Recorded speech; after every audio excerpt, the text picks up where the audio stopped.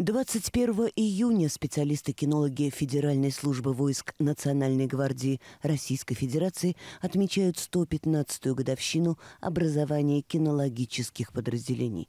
В Росгвардии кинологическая служба играет важную роль в обеспечении общественной безопасности и правопорядка.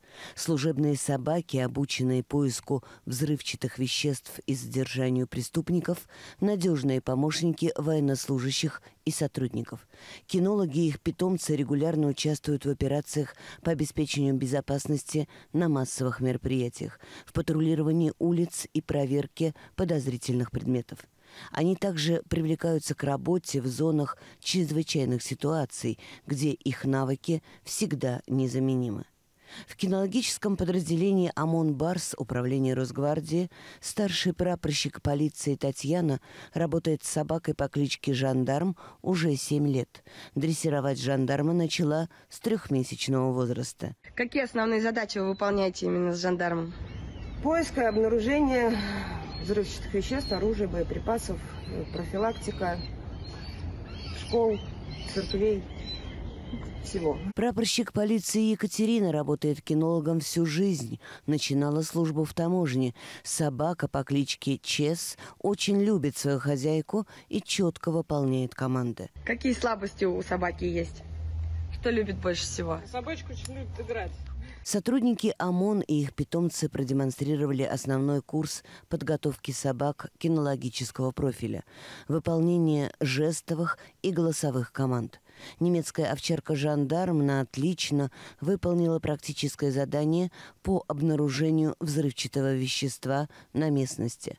Моцарт и Чес продемонстрировали отточенные навыки по обнаружению взрывчатого предмета в автомобиле.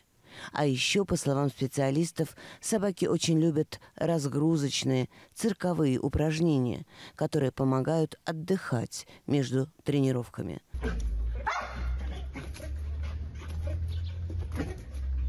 Сегодня кинологи ведомства со своими подопечными выполняют служебно-боевые задачи в зоне специальной военной операции.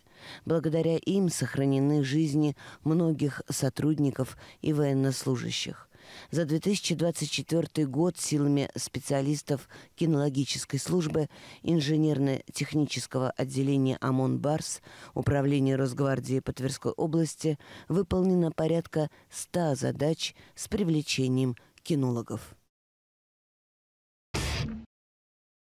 Сегодня мы покажем познавательный видеоролик, созданный Управлением на транспорте МВД России по Центральному федеральному округу совместно с Тверским государственным театром кукол. Уважаемые взрослые, посмотрите сами и покажите ролик своим детям. Очень познавательно и интересно.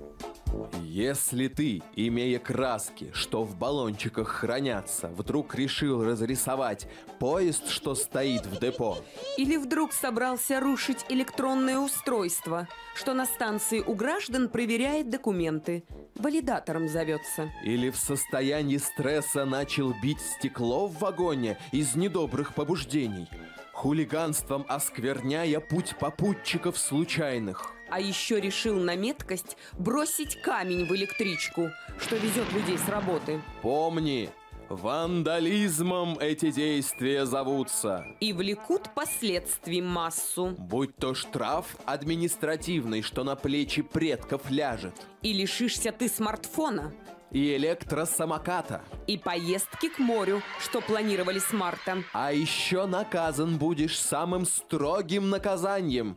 Не увидишь ты компьютер. Ибо о морском круизе предки год уже мечтали. Но отдали накопление за деяние ребенка. Или подметать заставят все подъезды в твоем доме. Что, конечно же, неплохо, если это добровольно.